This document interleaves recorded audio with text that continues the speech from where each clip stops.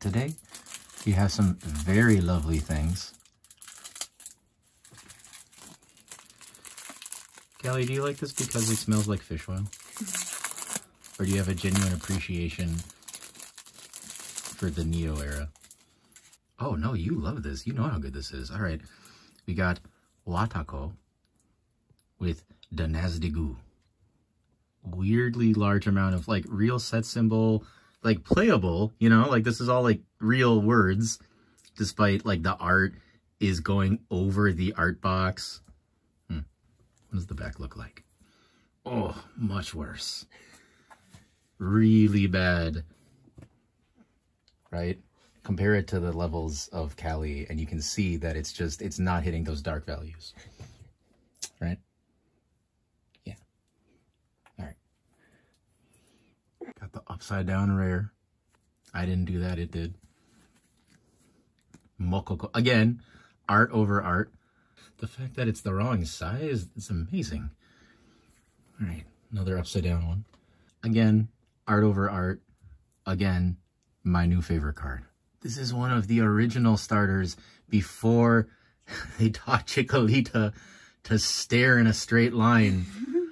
Also, it's before Chikorita, you can see, before they decided she was to be opinionated. Flip a coin if heads the Fang Pokemon is now confused. 10x what? 10x confusions? These are all stickers, by the way, if that wasn't abundantly clear. Yet again, upside down. Let's just presume they're... It's a filthy rare. Those are actual bumps on the card. It has the complexion of a Chicago hot dog. Freeze, motherfucker, for two colorless. Make opponent skip one attack chance? Holy shit. This is the best fucking card in the world. All right. Oh, Mr. Anderson. God damn. Comet Punch with those little nubs? I don't think so. Oh, I don't know if you know this, but Pichu was not allowed to be in the game for some years. That's why they replaced it with Bichu. Legally different. Here you go. Your little, your little Bichu. The top and the bottom are too long, but they're too long evenly. Same comment on the back. Really well centered and just filthy otherwise.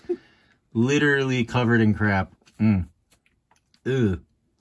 90. Oh, God, the texturing. Jesus Christ. Like a Papa John's slice. I hate it. Ugh. Callie, what do you think of this one? This one's uh, a little filthy for me. What do you think? No comment. I agree. Damn, even the pack is... Ugh. There. I know you like trash. The fucking blind at birth variant Upa. Duh, Ryu. Shit. Didn't you fucking know? Duh, Ryu. Ooh. oh! Back to back. Fan art awful Togepi. Holy crap. That is a bad drawing. Why did they make it big? How reflective it is. Ooh. and I know I mentioned uh, these are stickers, but this one's also just from from uh, time. Ooh, and a mysterious yellow substance. Good. There we go. Oh, ho, ho. Ooh, that's fun. Right? That's a misprint, isn't it? It's not disgusting. Pearl, misprint or disgusting?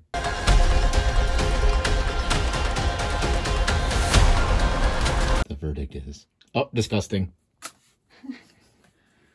oh! The evil! No wonder it was stuck to it. You see, these were from the factory still. Not the right factory. Why, the, the, the...